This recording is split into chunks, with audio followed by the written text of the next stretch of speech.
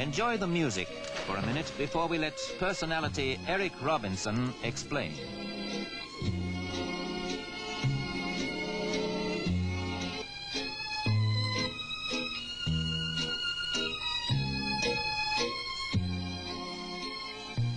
Hello there. I suppose you thought you were listening to a long playing record just then. Well, you weren't. You were listening to a new instrument that David Nixon and I have helped develop in this country.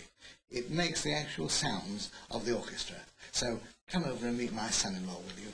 And the mellotron. David, tell me, every time I come to your house, you're always playing this instrument. Well, I'm a frustrated musician, Eric. I need this, you see. I can, I've never been able to play the piano. Right for you. You've got an orchestra.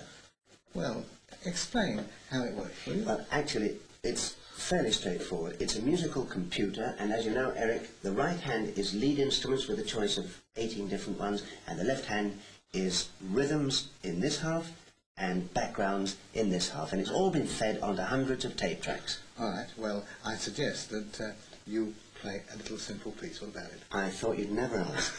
My party piece. Bye Bye Blues with two fingers and nothing up my sleeve.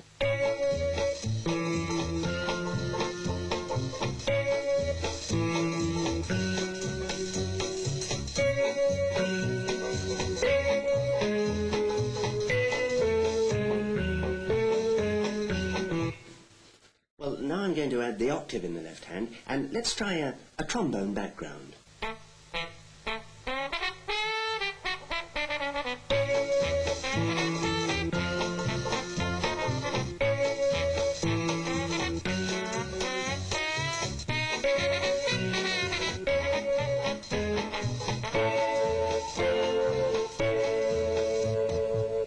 Well, that's fine, David, for the quick steps, but what about some of the other rhythms?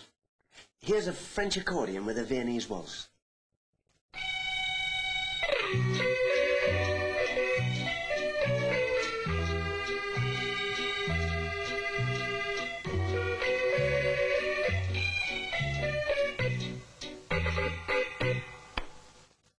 Thank you.